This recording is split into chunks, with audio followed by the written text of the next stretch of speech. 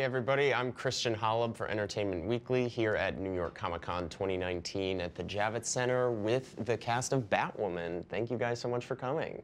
Thank you for having us. Thank you.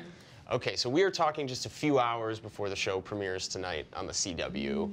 Um, but just to, you know, kind of set the table, um, it's a conflict kind of between your two characters that is kind of the inciting incident that um, draws Kate Kane back to Gotham. Um, what can you guys kind of tell me about, uh, you know, what to expect from your characters early on and, and the way they cross paths? Well, I think for Alice, um, you know, uh, originally there's one reason that she targets uh, Meagan's character Sophie. Love that. that was an attempt to be super smooth, and it didn't work know, out so well for you. But that was cool We're all nonetheless. drawing attention to it. yeah. No, we're like, I love Oh no, live. that fell.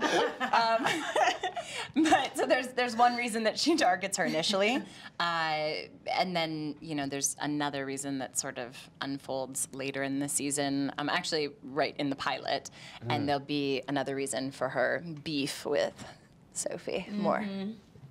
Yeah, for Sophie, I mean, she's just trying to just be out there, do her badass thing, and she has no idea who's capturing her. Um, she just gets captured, and then all of a sudden it's just kind of like, wait, wait, what? By who? But that doesn't come until later. Right. Um, so Alice is kind of in this um, great tradition of bat villains who base themselves around kid stories or you know in her case alice in wonderland. Um, and and that kind of gets to you know batwoman is a show not just about a female queer superhero but also the crazy villain character is a woman. The love interest in danger is a woman. Um, what do you guys kind of like about this um, show where so many roles are, are filled by women and, and totally different uh, female characters?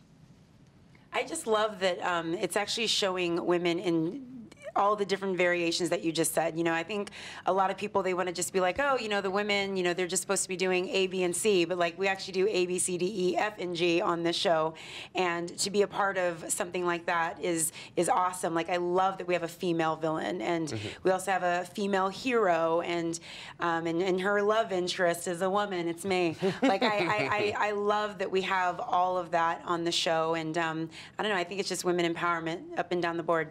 That was a really good answer. Thank you so much. I can't top that. Well, then I guess just continuing. uh, Next.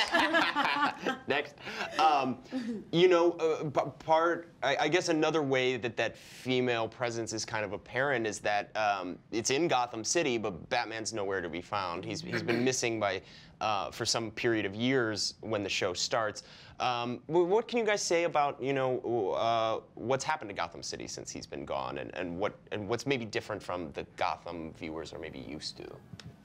I think the interesting thing about Batman is that, you know, him and Gotham are inexplicably linked. So even though he's not physically there right now, there's still very much a presence of him there, and, and there's an absence that is noticed.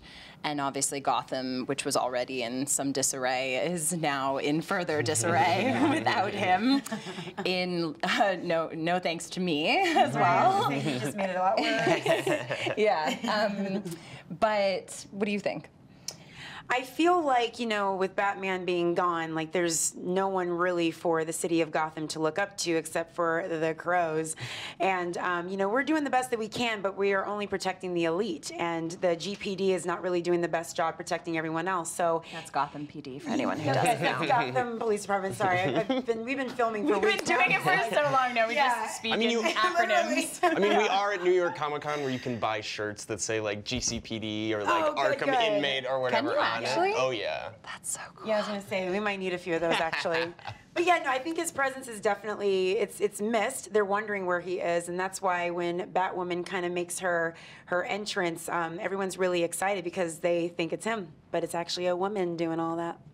Awesome. And uh, you know, you, you, you mentioned this word, uh, the crows, of which Sophie is a member. Um, it's, it's, it's kind of this semi-police state that's kind of uh, materialized in Gotham to make up for Batman's absence. Um, can you go into any more detail about them and how Sophie kind of ended up in their orbit? Yes. So the Crows is basically ran by Jacob Kane, who's Kate Kane's father, and Sophie gets to be second in command right underneath him. And yeah, their job is to go out and protect and do what they need to do, but it is mostly just for the elite. So although yeah, the people of Gotham, you know, they're they're looking for a savior, they want the savior, but Batman's like pieced out. They have the Crows there to hopefully fill in that gap, but I mean, we can't be everywhere. It would only take someone, I guess, like Batwoman to do something like that. Yeah, yeah. Um, okay, and Rachel, you're now playing this character Alice in the superhero verse, but you've previously played uh, Black Canary on Birds of Prey. Yeah. Your former co-star Ashley Scott is is going to be in the crossover. Is there any chance of you reprising Black Canary? Uh, no. Okay. I, yeah, I've been asked that question a lot, but I I'm now firmly in Alice's shoes. Uh, but I did actually speak to Ashley yesterday. nice. Yeah, and it's so much fun that she's coming. I'm so happy, and um, I can give a little spoiler. So she kept her original costume from Birds of Prey, and the belt and the necklace. She'll be wearing that in the crossover. So when you see her in the crossover, it's actually like OG Birds of Prey stuff. That's awesome. As if we uh, couldn't get more excited for the crossover. but uh, thank you guys so much for coming. Thank you for Um, having Thank us. you. And stay tuned to Entertainment Weekly for more coverage of New York Comic Con 2019. Bye.